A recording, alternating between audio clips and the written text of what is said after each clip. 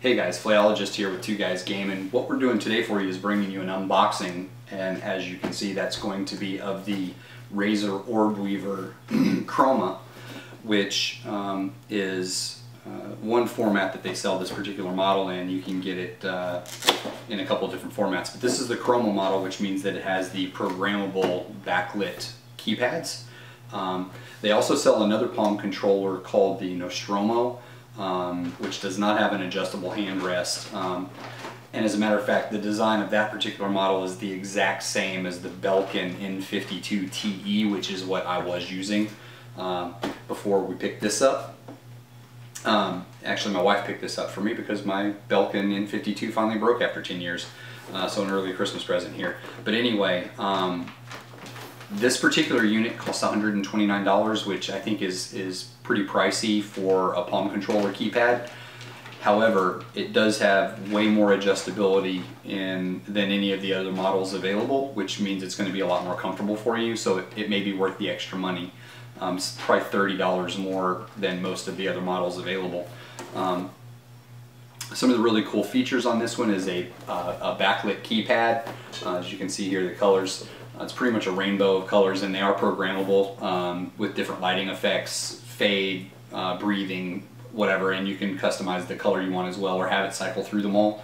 Uh, it has 20 programmable keys, um, which are the keypads here. There is two additional keys. Um, there is a key here which is mapped to your Alt button and a key thumb pad here which is mapped to the spacebar key and you cannot change those. Uh, there's also a four-way directional hat switch on the unit. Um, the four-way, or the, sorry, the eight-way hat switch uh, is programmable too, by the way. Um, so let's take a look at it. Let's get this box open and see what comes in this particular, with this particular unit here. Uh, another cool thing about the box, you can actually open a door and see the unit inside uh, with some cool information there. Nice colorful box. Typical, you know, Razer stuff is packaged well. Um, set the box to the side. Anything else in here? No? Oh, here we go. Uh, we have a Razer Orbweaver book. I guess this is the instruction manual. Oh, there's also two Razer stickers for your case or your laptop or whatever you want to use it on. And then we have a congratulations card here with uh, some writing on it. There's congratulations and how to how to set up your warranty. So here's our unit. We're going to unbox it. Good eggshell. Of course, we take that apart.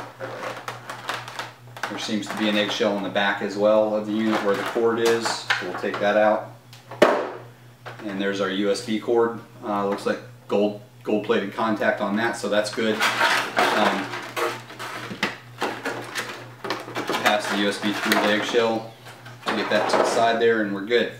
So here's the unit.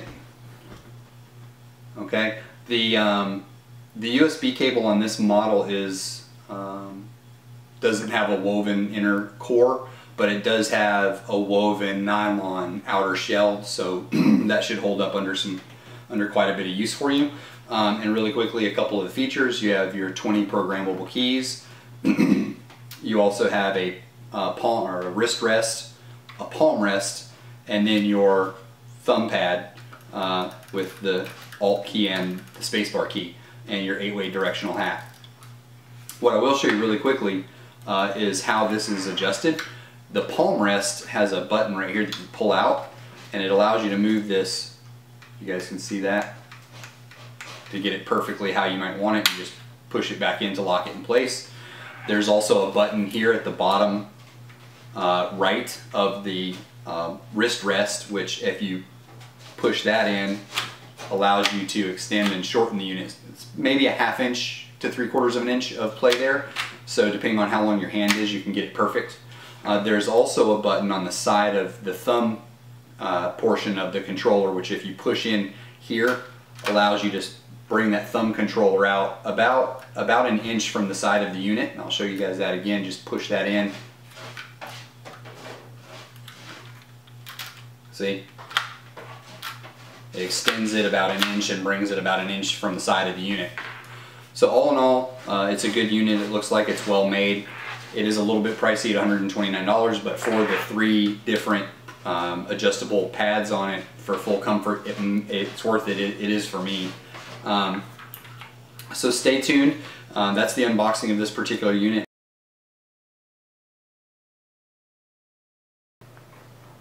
Alright guys, here we go. We have the, um, the lighting effects up for you guys so you can take a look at what's going on with the unit a little bit better. Um, what we have right here is just the unit plugged in. This is how it comes out of the box. Uh, this is called spectrum cycling where it just cycles through all of the available colors um, one at a time. Uh, so you can see that uh, blue, greens, etc. all the way through the list. There's several other options that we have available as well. There is a pretty cool uh, breathing effect which we'll show you now and we'll just have it do it in a random color. Where it selects the color, this is green, it's going to fade out and then come back in in a random color. Red, um, orange, they have orange, pink, I mean pretty much every color is in this thing, it's pretty crazy. Um, let's show you another one as well. This next one is going to be reactive, which we really like. Um, reactive, as you can see, there's nothing on right now, but if I hit a button, uh, it's only going to light up the buttons that you hit. And then it'll go out just in the order that you hit them which is pretty cool. Um, for now, we're going to leave that set to, uh, well, let's, let's check out one more. This is the wave pattern. As you can see, it cycles in a wave, and it's programmable left to right or right to left, however you'd like it done um, for this. Uh, that's a pretty cool effect as well. Um, in the Synapse software, which does not come with this unit, you have to download it, um, but the Synapse software has the lighting controls to set this up. So that's all I'm doing is on another monitor that I have up here is I'm selecting which effect I want to, uh, to be displayed. Um, switch it back to spectrum cycling. And, uh, and so it, it's the brightness is, uh, is adjustable uh, from bright like there um, down to low, um, which is dim. Uh, all of that's completely adjustable. So uh, that's the lighting effects for the thing. It's pretty pretty great. Uh, we love it. It's a pretty cool looking unit. Um, I think uh, we'll probably, at least for this unit, when I'm using it, I'm going to have it select a reactive because I think it's pretty cool just for it to light up when you touch it. Plus, you're going to extend the life of your LEDs if you don't have it constantly constantly on and cycling, which uh, which I think is a good idea.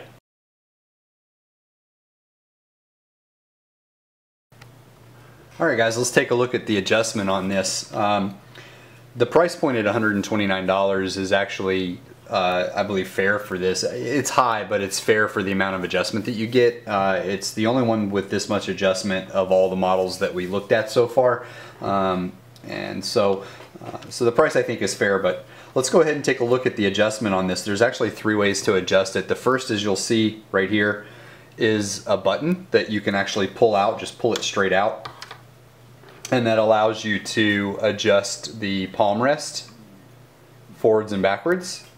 So as your palm sits on it, you can adjust the height of how far your palm sits up, how flat or how arched your palm is. And when you get it where you want it, you just push in that pin and it locks it back in place. The second adjustment for this particular unit is on the other side, on the right side of the um, wrist rest right here uh, is a button right here which you push in and that actually lets you change the length of the entire unit. So I'll go ahead and push it in and show you guys. So you can take it from, uh, it's probably maybe three quarters of an inch of, of adjustment on that. So if you have a long hand, you can pull it out or go in. It's gradiated uh, clicks there so you can adjust it and get it perfect for yourself.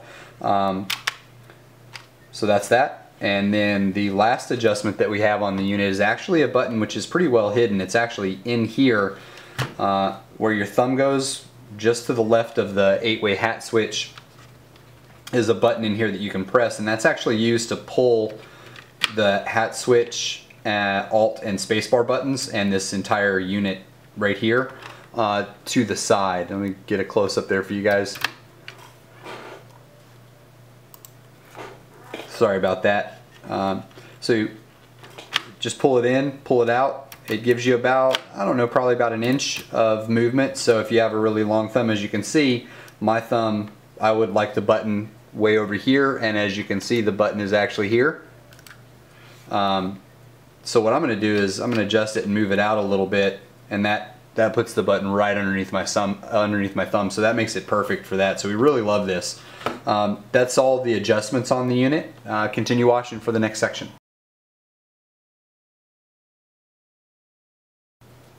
Alright guys, so far as programmable buttons, on this particular unit, this is the, again, the, the Razer Orbweaver Chroma. Uh, it has six, uh, excuse me, 20 uh, buttons uh, arranged in four rows of five buttons each.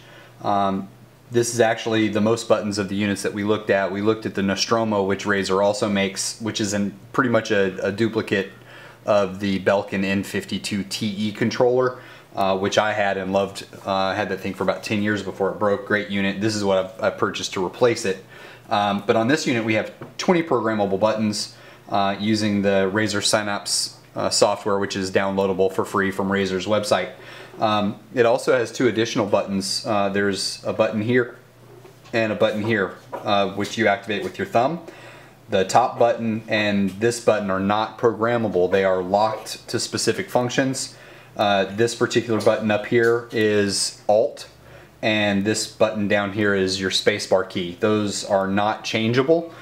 Um, and in addition to all the buttons, we have an eight-way hat switch uh, here, which is programmable uh, to do various things. So you can uh, set it to numpad up, down, left, right, WSD, and uh, A, depending on what you want it to do, or you can set it up for anything you'd like. It doesn't have to be used for direction at all. You can use it to cycle through toolbars in a game or in, or in an application. Um, uh, select tool brushes in Photoshop or whatever you want to do. It's the the possibilities are endless. But with the most buttons of any of the units that we looked at and, uh, and the fact that they are fully programmable, uh, we really, really do like this feature. So uh, another great point for this unit. Alright guys, so in conclusion, uh, our review of the Razer Orbweaver Chroma. Um, you know, personally I'd, I'd give the unit um, an 8 out of 10. Uh, it's got great manufacturing, uh, looks like a pretty sturdy unit. Uh, the cord is made well, the unit itself is made well. Uh, the adjustable uh, palm rest, wrist rest, and thumb rest uh, really make this unit stand out apart from any other unit that we've looked at. So if, if long-term gaming comfort is what you're after, and the fact that it has more programmable buttons than any other unit we looked at, then this is definitely the unit for you. We, would say go ahead and give it a try. We don't think you'll be disappointed. It is a little expensive at $129, so it might be cost prohibitive for some of you, but, um, but if you can save up to get it, we highly recommend it. Thanks for watching Two Guys Gaming. We'll talk to you soon.